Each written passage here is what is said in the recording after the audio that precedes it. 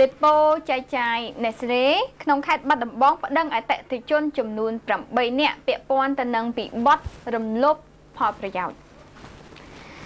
ដេប៉ូដែលបានទទួលសិទ្ធិចែកចាយផលិតផលកាហ្វេ Nestle ផ្ដាច់មុខពីក្រុមហ៊ុន UNT Wholesale ដែលមានទីតាំងក្នុងខេត្តបាត់ដំបងកាលពីពេលថ្មីថ្មីនេះបានប្តឹងអតិថិជនរបស់ខ្លួន8នាក់ឡើងទៅកាន់តុលាការ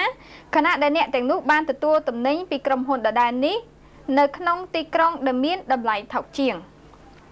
ក្រុមអតិថិជនដែលរងការប្តឹងនោះបាននិយាយថាដេប៉ូចែកចាយកាហ្វេ Nestle របស់លីថៃប្រចាំខេត្តបាត់ដំបងបានប្តឹងពួកគាត់ទៅតុលាការនិងបានចាប់យករថយន្តដឹកកាហ្វេទៀតដោយសារតែមិនបានទិញកាហ្វេ Nestle របស់ដេប៉ូនេះដែលមានតម្លៃ75ដុល្លារក្នុងមួយកេស ហើយឡើងទៅទទួលយកទំនិញនៅភ្នំពេញដែលជាឃ្លាំងធំរបស់ផលិតផលនេះដែលមានតម្លៃត្រឹមតែ72.50ដុល្លារវិញប៉ុណ្ណោះតើតងបញ្ហានេះលោកលីថៃម្ចាស់ដេប៉ូចែកចាយលីថៃបានប្រាប់ថាលោកបានទទួលសិទ្ធិចែកចាយផ្ដាច់មុខពីក្រុមហ៊ុន UNT Hosa ដែលជាក្រុមហ៊ុននាំចូលកាហ្វេ Nestle ផ្ដាច់មុខមកកម្ពុជាសម្រាប់ចែកចាយបន្តនៅក្នុងខេត្តបាត់ដំបងទាំងមូល។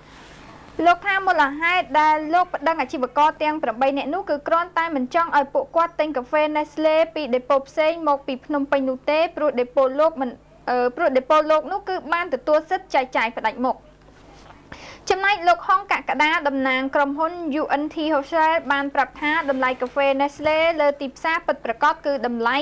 76.10ដុល្លារក្នុងមួយកេសហើយបើមានការលក់ជូនអតិថិជនក្នុងមួយកេសតម្លៃត្រឹមតែ72.50ដុល្លារនោះគឺវាអាចធ្វើឲ្យខូចតម្លៃទីផ្សារដូច្នេះខាងក្រុមហ៊ុននឹងចាត់វិធានការបន្ទាន់ដើម្បីរកដំណោះស្រាយចំពោះបញ្ហានេះ។